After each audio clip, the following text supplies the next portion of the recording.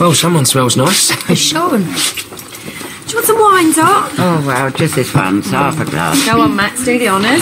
We go, Sean. Can I have some? No. no garlic bread. Shame about the restaurant. I don't know. She looks lovely, sweetheart. Thanks. Oh, sorry we're late. The traffic was a mare. No, you're just in time. Right, You all right, Dot? Yes, thank you. Hello. That looks nice. When's Jim coming back, Dot? Do you know? Soon, I hope, what with all this going on, I do miss him. Sean, Uh, Jean, why don't you come sit next to me? if I'd have told you she was coming, you wouldn't have come.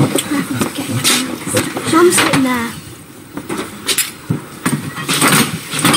Mum, hurry up, I'm starving. Coming. Well, seeing as I've got to send out all the invitations again, I was thinking of uh, asking Uncle Jack afterwards. Bit short notice, isn't it? Probably won't come. You hope. Well, you might do, you know, it's worth a try. Hope you'd like him, Stace. So, well, why don't I give you a hand? No, you're all right, darling.